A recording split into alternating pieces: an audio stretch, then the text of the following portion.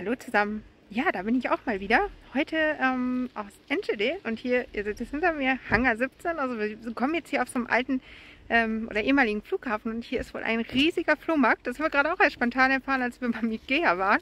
Und da gehen wir jetzt einfach mal gucken.